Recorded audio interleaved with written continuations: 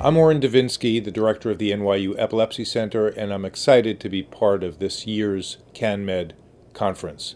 There are some exciting findings from the GW Epidiolex studies of cannabidiol. The first three randomized placebo controlled trials have all found positive results. That is, in the Dravet study, the primary endpoint was change in the frequency of convulsive seizures, and there was a statistically significant reduction using cannabidiol. And in the two Lennox-Gastaut studies, both of which had drop seizures as the primary endpoint, again, both of those studies found statistically significant results with regards to a reduction in seizures with the cannabidiol.